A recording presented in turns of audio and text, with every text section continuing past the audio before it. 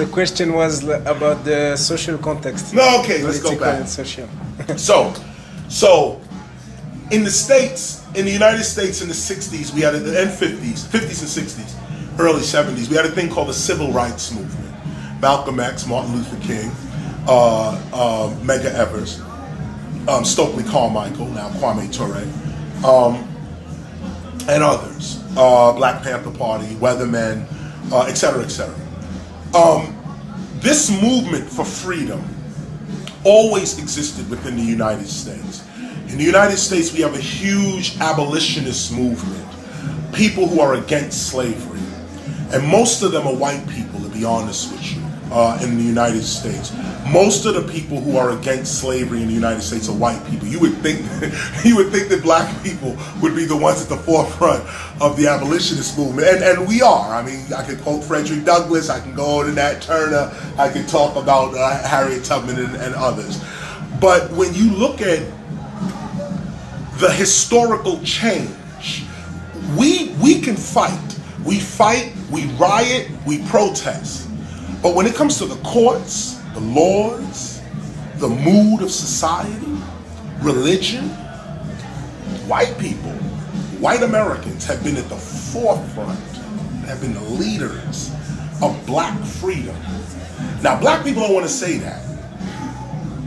I don't know why, but it's the truth. The truth is, Barack Obama was not elected by black people.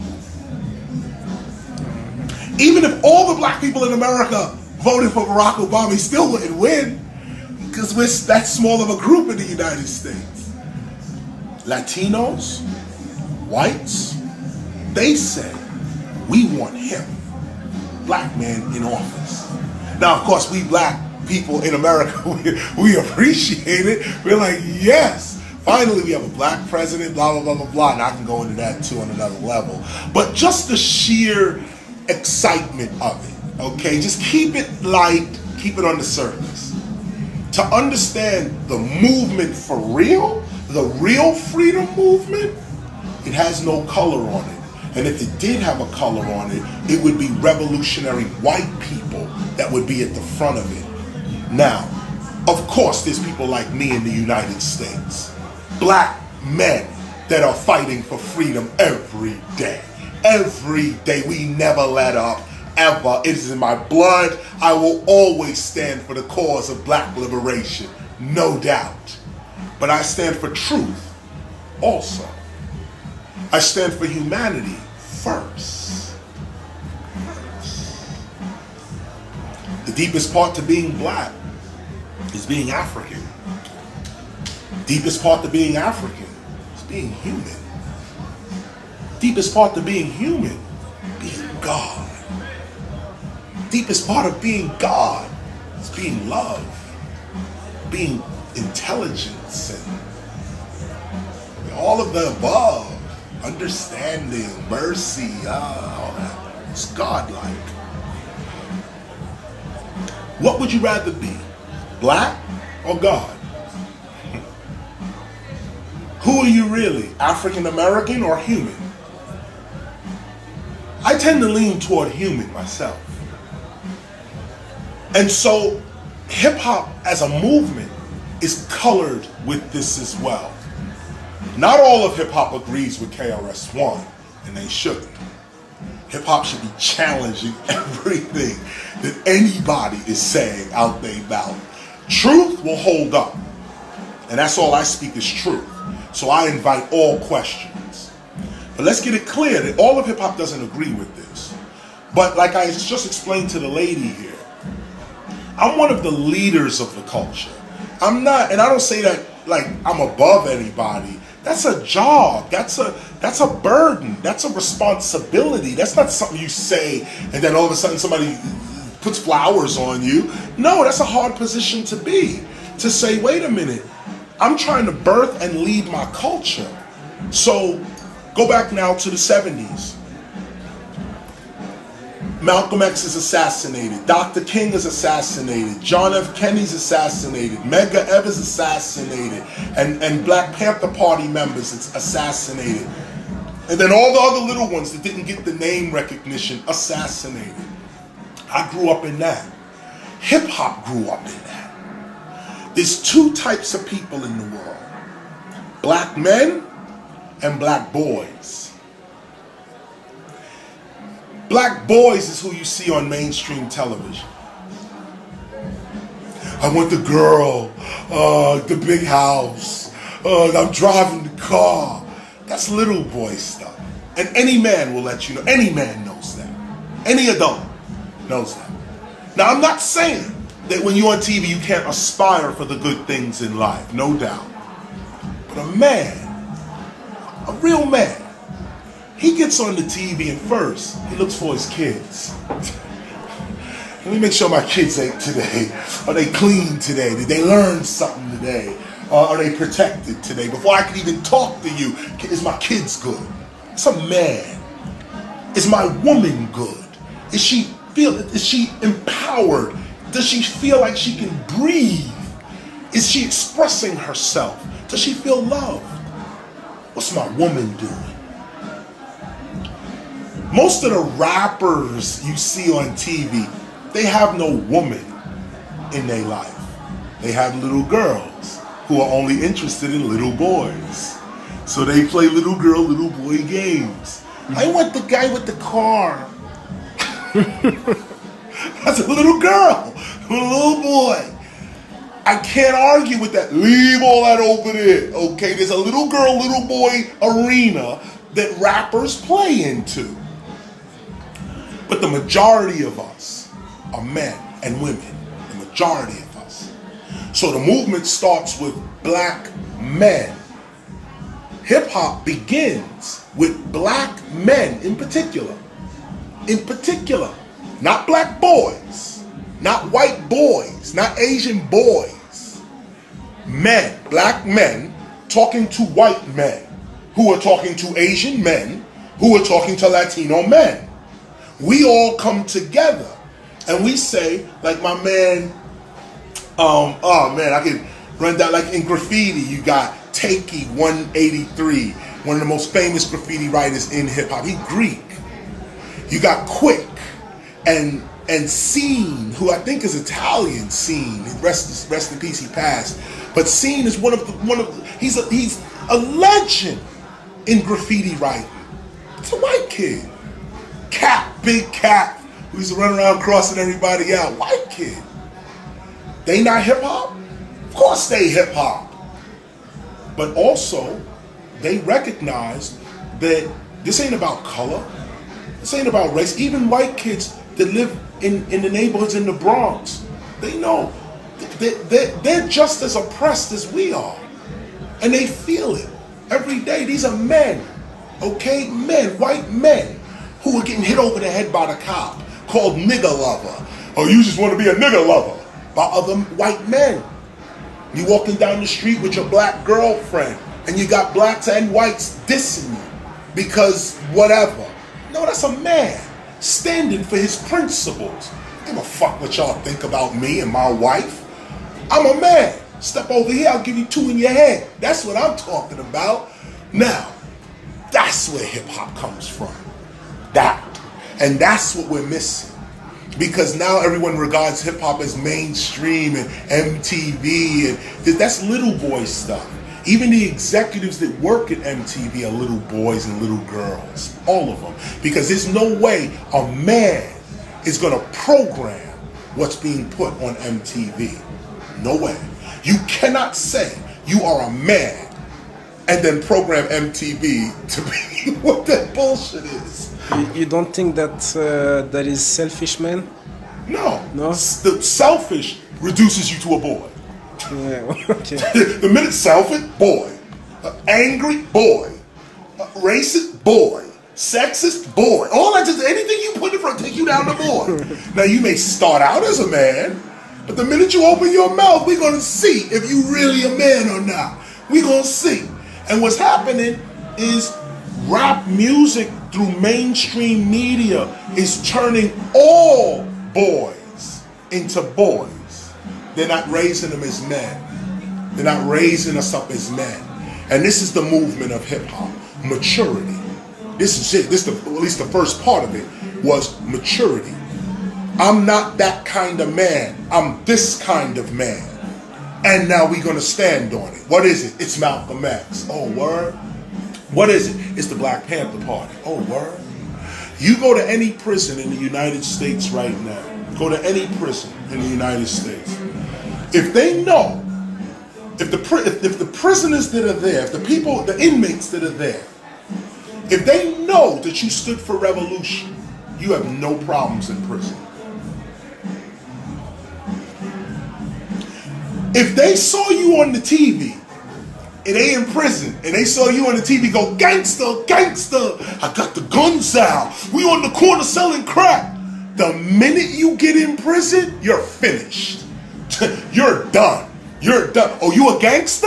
Come on in here now. Come on in here with some real gangsters. And let's show you what gangster is. Because those, the people, most of the inmates in prison started out as boys, went to prison and became men.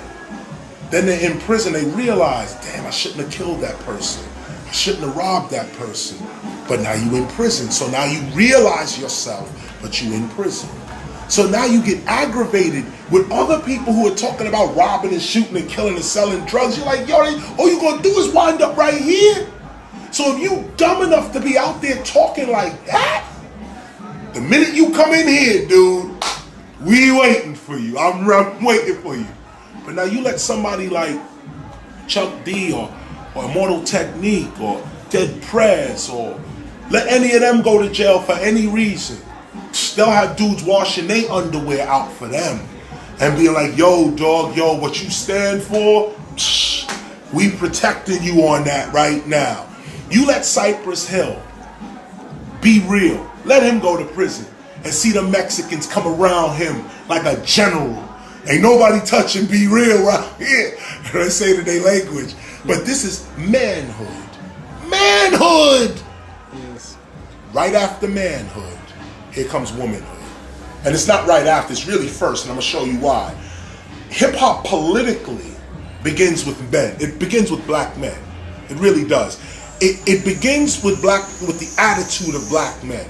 The Latino man was with that too, and then the white man was with that too. But Kool Herc, the father of our culture, the reason he went outside to play his music at 1520 Sedgwick Avenue, actually inside the, in the community center, the reason he went was because of his sister. His sister, Cindy. Cindy Campbell. Cindy, his older sister, was the one who said, Yo, Herc, go, as she said, um, he used to write, he was a graffiti writer, write Cool Ass Clyde. And it was his bigger sister that said, could you DJ for my, my birthday party? And he left the walls and became a DJ and started playing, uh, you know, James Brown and uh, Apache and all these classic records now. But let me go from him to her. Women, women, not little girls, women, real women, is the purpose of hip hop, is the glue of hip hop. It's the glue of it. Men are the outward appearance of hip hop, black men. Behind them is all kinds of women. Start with Cindy with Cool Her And Pebblee Poo, first female MC, who was with Cool Herc. Take it all the way over to Sha Rock, who was with Funky 4 Plus One More. Take it over to Roxanne Shante, who had many battles and won, by the way. Take it over to Salt-N-Pepa. Take it who was battling Dougie Fresh when they first came out. Take it over to Queen Latifah, MC Lyte. These are hip hop women. Okay? Take it over to them. Now, Women are also the executives. Sylvia Robinson, legendary woman, her soul rest in peace. She was the founder and president, CEO of Sugar Hill Records. The first rap records to come out in a major way, putting aside the Fatback Band's King Tim III, which is true scholarship. But coming over to Sugar Hill Records. That was ran by a black woman. Grandmaster Flash, Treacherous 3, Furious 5, Sequence, all of a black woman. See the vision and put it out. I say all this to say, what causes the movement of hip hop? First, Afrika Bambaataa caused it. But go further back, Malcolm X caused it. Go further forward, Kool Herc caused it. No, he didn't. Cindy caused it. Uh, go even further, my mother caused it. And every single mother that raised a single boy to a man. This is also hip hop. Ask most hip hoppers, the early hip hoppers from 81 to 91, the golden age of hip hop. 90% of us raised by women. 90% raised by single women. Dad was not around. Hip hop is feminine in a lot of ways. Hip hop exalts the woman in a lot of ways. Mainstream says, oh, hip hop is misogynist toward women. Hip hop degrades women. Stupid. What an idiotic argument. Those people who say that are not even part of hip hop. Because if you was part of hip hop, you know that it was Queen Latifah who put out I Need a Gangsta Bitch. A gangsta bitch, I need a gangsta bitch. Her artist was called Apache. He actually put the record out. But Latifah was the woman, the executive behind the record. Then Latifah puts out, who you calling a bitch? U-N-I-T-Y. Your biggest record in hip hop. This is one woman. Anybody who looks at hip hop would look at Mary J. Blige and Method Man. Method Man, the record, all I, you're all I need to get by. Shorty, I'm there for you anytime you need. For real, it's me in your world. Nothing makes a man feel better. Oh, I can't get his record, his, his lyrics together. But when you listen to the lyrics of Method Man and how he adores Mary J. Blige, he's just like, right, he's just like, oh, you're my world, you're my everything, you're everything. How is that misogyny? At the end of the record, he says to Mary, you my nigga. Does Mary go, why are you calling me a nigga? No, Mary know exactly what he's talking about. She's like, word, they did the video together. She even went and did another record with Gold Ghostface, which was even bigger than that one. This is real hip hop. Real hip hop. Not sociologists, not professors they don't even know their own subject. How you gonna look at hip hop? They don't even know their own subject. They don't even know what sociology is. So to put a so to put a, put a period on it real quick, there's a little period here. The movement of hip hop, peace, love, unity, having fun. It comes out of the civil rights movement, the continuation of that struggle to get free and what is free. Not just free to run around and do stupid stuff, but free to be a man, free to be a woman, free to raise a family. Right now, hip hop is in family mode right now. All of hip hop is in family mode right now. All of us, we got our kids with us. We're putting our kids on TV. Will Smith just put his son up. Snoop just spoke the blunt with his son. Actually, he um he, he actually no. What I want to say is that his daughter he just did a record with his daughter called No Guns Allowed. Um, just did a reggae record. Snoop Lion did a record with uh, his daughter and Drake. Big up to Drake, big up to Snoop and his daughter uh, for doing that record, No Guns Allowed. And they, they did a reggae record on that. That's Snoop. That's 187 on an undercover cop. Yeah, and you don't. That's him, okay? That's him, all right? Now he's my daughter. And no guns in school. Why? Because I'm a father. Really? And we knew that. When Snoop said 187, uh, we knew who he was then. Me and Snoop have been friends for years. Years. Does he look at me and say, oh, Kris is just preaching too much? Do I look at him and, oh, he's gangster gang? No. Snoop is probably more intelligent than I am. Think about this. Everybody who's everybody who is for the cause mm-hmm. doesn't run around with dreadlocks and red, black, and green on.